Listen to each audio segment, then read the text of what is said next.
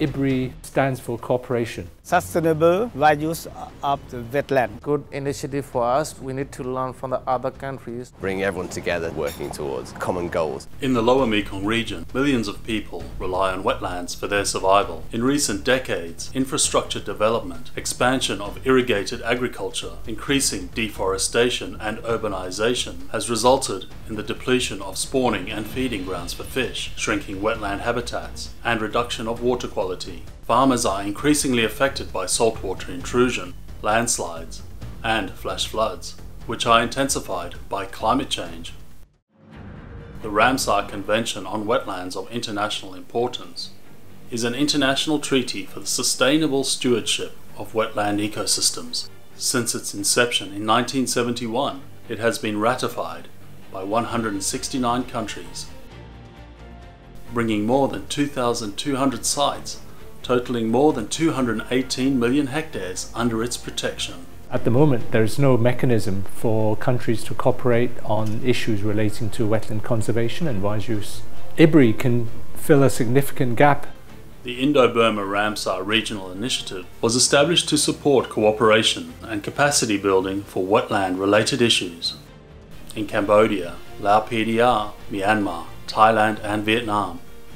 IBRRI fosters inclusiveness. It ensures that civil society organizations, local sites managers, academic and communities living in wetlands have an opportunity to participate in the dialogue related to wetlands management and wetlands conservation can share their experience, but also have a say in decision making.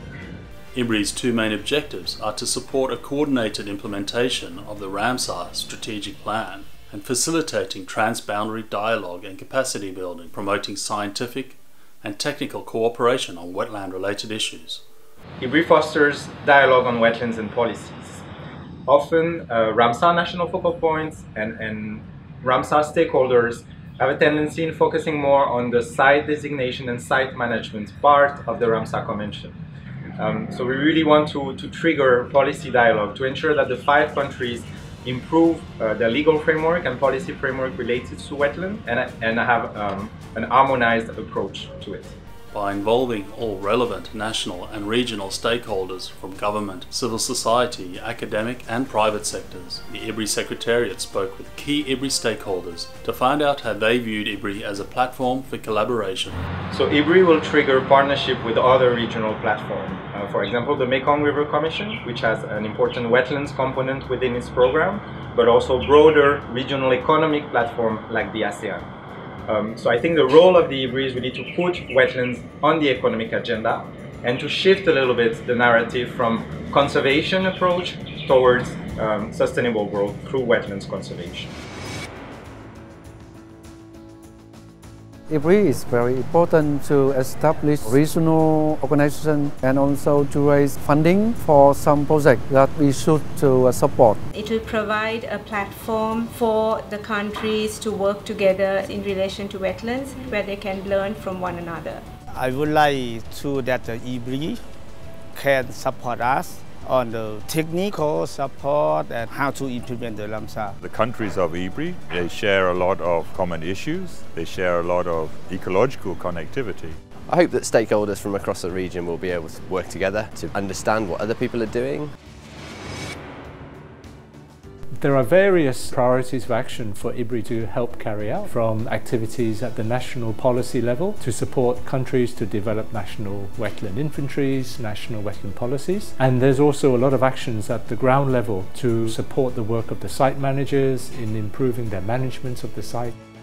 Many people don't understand clearly about the Ramsar site criteria yet. IBRRI can provide us some uh, capacity building Myanmar is to learn from the other countries because Myanmar is behind the other countries in the Ramsar Convention implementation and wetland conservation.